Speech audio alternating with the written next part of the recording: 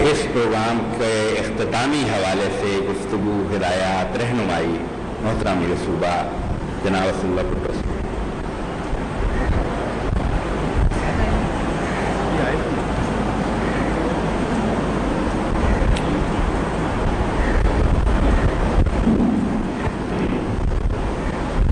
الحمد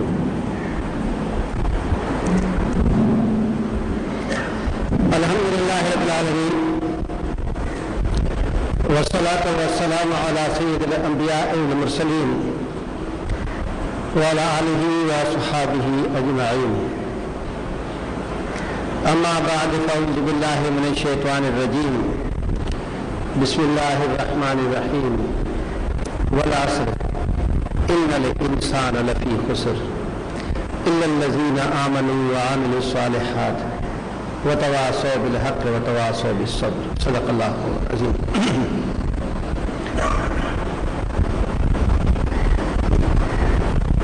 اسٹیج پہ بیٹھے ہوئے صوبائی ذمہ داران اور میرے سامنے بیٹھے ہوئے مختلف سطحوں کے ذمہ داران، السلام علیکم ورحمۃ اللہ۔ سب سے پہلے تو میں اللہ رب العالمین کا یہ شکر ادا کرتا ہوں کہ اللہ رب العالمین نے ہم سب لوگوں کو یہاں اپنے دین کے لیے، فکر کرنے کے لیے، سیکھنے کے لیے، اور اپنے قلوب کو تازہ کرنے کے لیے اور وزن کو جمع کرنے کے لیے جمع ہونے کی توفیق عطا فرمائی۔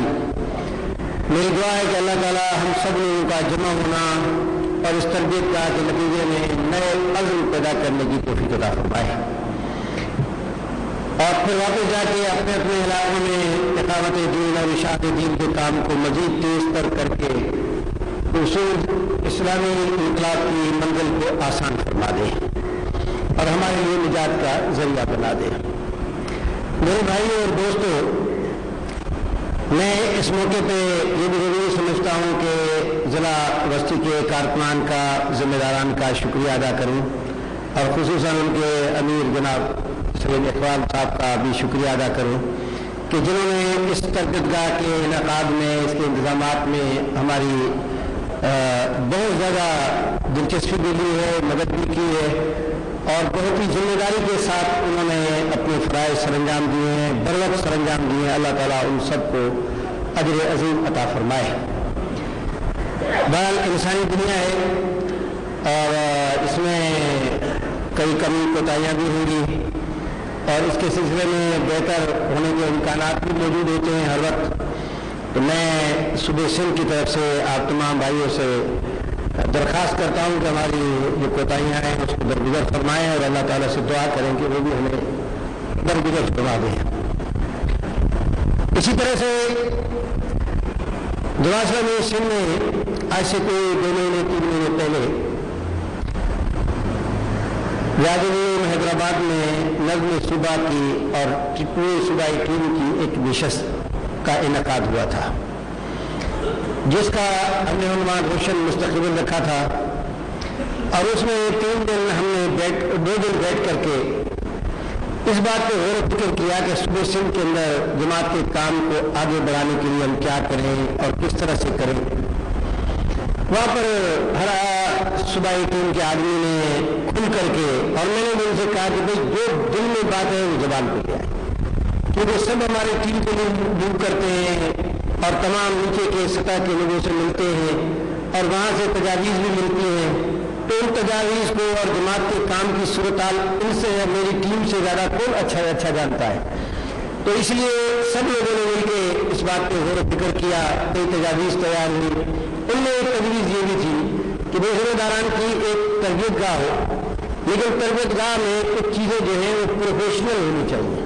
کیونکہ آج کی دنیا کے اندر ایک جو ہے یہ بڑا ضروری ہے کہ پروفیشنل انداز میں لوگوں کو کچھ چیزیں بتانے اور اس کے لیے ذہن تیار کرنے کی ضرورت ہوتی ہے۔ اس لیے دنیا بھر کی این جی او دنیا بھر کی اسٹیبلشمنٹس اور بلکہ سرکاری محکمہ جات بھی ریفریشری کورسز اور دوسرے کراتے رہتے ہیں تاکہ اپنی ٹیم کو زیادہ بہتر کام کرنے کے لیے ان کی صلاحیت میں اضافہ کیا جائے، ان کو متوجہ کیا جائے، ان کی تذکیر اور یاد دہانی کرائی جائے۔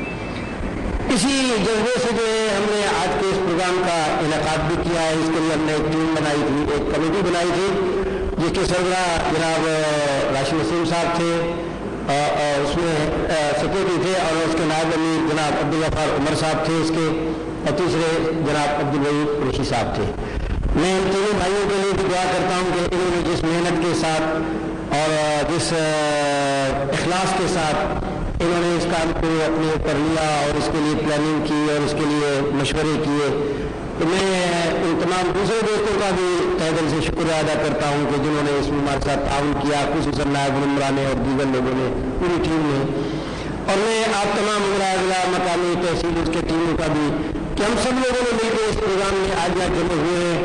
اللہ تعالیٰ اس میں ہمارے لیے دنیا آخرت کا فیض و فلاح کا فرمائے۔ آج کے اس میں کیونکہ ہم سب لوگ ذمہ داران ہیں۔ اور ہر ذمہ داران میں سے سوا ہے نائب قیم کے۔ میرے خیال ہے باقی سب میں ہم نے ایک حلف اٹھا رکھا ہے۔ تو میں چاہتا ہوں کہ اپنے اس باتوں کو دو حصوں میں تقسیم کروں۔ ایک حصہ وہ ہے کہ میں آپ کو دستوری ذمہ داریاں اس دستور کے حوالے سے آپ کو یاد دلاؤں۔ اس کے لیے میں نے کچھ چیزیں لوگ کی ہیں کچھ چیزیں فلیکٹ کی ہیں کیونکہ یہ دستور کا پڑھنا اور روز روز کو یاد کرنا، یہ سب کے بس کی بات بھی نہیں ہے اور تذکیر بھی اچھی چیز ہوتی ہے۔ تو اس لیے میں ایک حصہ میرا جو ہے خالص اس پہ ہوگا کہ دستور ہمارے اوپر کیا ذمہ داریاں عائد کرتا ہے اور کس طرح سے کام کرنے کی توقع رکھتا ہے اور ذمہ داران کے اصاف کیا ہونے چاہیے اور ہمارے کام کا نصب العین کیا ہے۔ اس ساری چیزوں کو جو ہے وہ ایک جگہ میں نے جمع کیا ہے اور دوسرے حصے میں پھر جماعت کے کام اور اس کے متعلق میں آپ کی خدمت میں کچھ باتیں رکھوں گا۔ جو ہمارے اس کام کا پہلا حصہ ہے، اس پہلے حصے میں سب سے پہلے تو اس دستور کے پیچھے جماعت کی دعوت لکھی ہوئی ہے۔ اور تقریباً جماعت کے جتنا لٹریچر ہے، اس کے پیچھے یہ دعوت لکھی ہوتی ہے۔ میں آپ کی یاد دہانی کے لیے یہ پڑھ رہا ہوں۔ ہماری دعوت، بسم اللہ الرحمن الرحیم۔ اپنی پوری زندگی میں اللہ کی بندگی اور حضرت محمد رسول اللہ صلی اللہ علیہ وسلم کی پیروی اختیار کرو۔ نمبر دو دورنگی اور منافقت چھوڑ دو۔ اور اللہ کی بندگی کے ساتھ دوسروں کی بندگیاں جمع نہ کرو۔ تیسری بات، خدا سے پھرے ہوئے لوگوں کو دنیا کی رہنمائی اور فرمان روا کے منصب سے ہٹا دو اور زمانے کار مومنین صالحین کے ہاتھ میں دو تاکہ زندگی گاڑی ٹھیک ٹھیک اللہ کی بندگی کے راستے پہ چل سکے۔ یہ وہ ہماری دعوت ہے جو کہ لے کے ہم اٹھے جس کے لیے ہم نے اپنی زندگیوں کو وقف کیا ہے۔ اب اس کے بعد جماعت کا نصب العین کیا ہے؟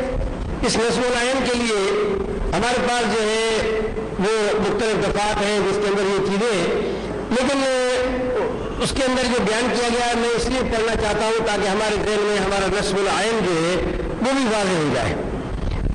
جماعت کی دفعہ نمبر چار۔ جماعت پاکستان کا نصب العین اور اس کے تمام صحیح و جہد کا مقصود امن اقامت دین، حکومت الہیہ یا اسلامی نظام زندگی کا قیام اور حقیقت رضاء الہی اور فلاح اخروی کا حصول ہے۔ فلاح اخروی کا اور رضاء الہی کا حصول ہے۔ تشریح الدین حکومت الہیہ، اسلامی نظام میں زندگی تینوں اس جماعت کے اسلام ہم مانا الفاظ ہے قرآن مجید نے اپنے جس مفہوم کو بیان کرنے کے لیے اقامت دین کے الفاظ استعمال کیے، اسی مفہوم کو یہ جماعت اپنی زبان میں حکومت الہیہ یا اسلامی نظام زندگی قیام سے ادا کرتی ہے۔ ان تینوں کا مطلب اس کے نزدیک ایک ہی ہے اور وہ یہ کہ انسانی زندگی کے جس دائرے میں انسان کو اختیار حاصل ہے، اس میں وہ درجہ اور رغبت، اس طرح سے، اس طرح سے اللہ کی تشریحی حکومت کو تسلیم کرے، جس طرح سے دائرے جبر میں کائنات کا ذرا ذرا چار ناچار اس کی تکوینی حکومت کو تسلیم کر رہا ہے۔ اللہ کی اس تشریحی حکومت کے آگے سر جھکانے سے جو طریقے زندگی میں رونما ہوتا ہے، وہی الدین ہے، وہی حکومت الہیہ ہے، وہی اسلامی نظام زندگی ہے۔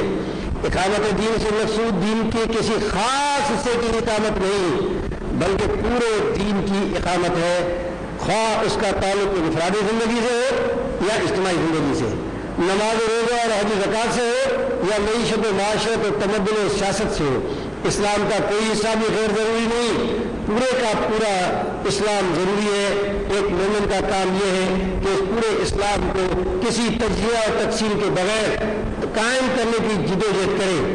اس کے لیے جس حصے کا تعلق افراد کے اپنی ذات سے ہے، ہر مومن کو اسی طرح خود اپنی زندگی میں قائم کرنا چاہیے۔ اور جس حصے کا قیام اجتماعی جدوجہد کے بغیر نہیں ہو سکتا اہل ایمان کو مل کر کے اس کی جماعتی نظم اور صحیح کا اہتمام کرنا چاہیے۔